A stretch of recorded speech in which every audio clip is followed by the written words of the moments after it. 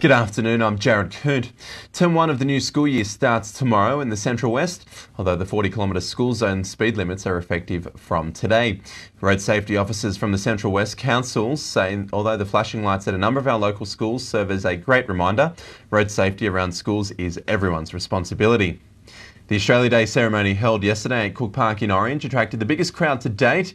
Denise Wilson was named Australia Day Citizen of the Year for her volunteer work in the Orange and surrounding communities. Chairwoman of the Australia Day Committee, Helen Corby, was also recognised for 14 years in the role. A white van scam is currently taking place in Dubbo. Residents are being warned about drivers trying to sell heavily discounted but defective products from the van. It follows an incident where someone bought $1,000 worth of equipment in the Orana Mall car park, only to find the equipment was poor quality, damaged, and defective. To local sporting news now, and the 2016 Blowes Clothing Cup and GrainCorp Cup draws have been released. It has been revealed the proposed two pool structure for the second half of the season will not go ahead.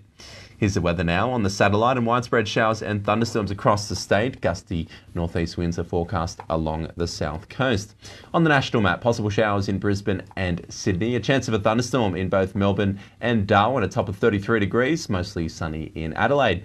To the regional centres, a wet day right across the central west today, a top of 26 in Dubbo. Rain also for the Riverina, a high of 24 degrees in Wagga, 23 in Young. Similar conditions on the way for Canberra and Goulburn with temperatures approaching a top of 23 degrees in the capital. Rain also right across the south coast. A high of 24 degrees is forecast for Wollongong. Orange's outlook rain is expected for the rest of the week and into the weekend, with a top of just 24 degrees expected on Saturday. I'll have more news, sport, and weather next hour.